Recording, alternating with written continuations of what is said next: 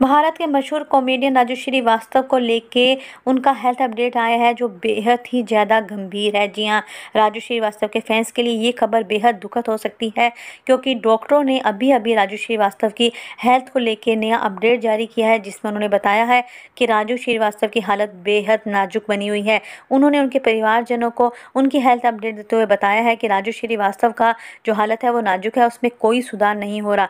डॉक्टरों ने कहा कि उन्होंने अपनी हर संभव कोशिश की है लेकिन वो कामयाब नहीं हो पा रहे हैं। राजू श्रीवास्तव का जो ब्रेन है, वो डेड है और अब उनका जो दिल है, वो भी ढंग से काम नहीं कर रहा, जिसके कारण उनकी कंडीशन बेहद बुरी हो चुकी है। डॉक्टरों ने बताया है कि अब केवल दुआ ही कुछ असर हो सकती हैं। सब लोग भगवान से दुआ कीजिए। आपको बता दें कि 12 अगस्त को राजू श्रीवास्तव को दिल का दौरा पड़ा था, जिसके बाद श्रीवास्तव का एम्स के आईसीयू के अंदर वेंटिलेटर पर ही हैं। तब से उनका एम्स में इलाज चल रहा था। अब उनका ये नया हेल्थ अपडेट सामने आया है, जिसके बाद उनके फैंस के बीच में चिंता की लहर दौड़ पड़ी है। आप सब भी उनके लिए दुआएँ मांगिए ताकि कुछ चमत्कार हो और वो जल्द से जल्द ठीक हो जाए।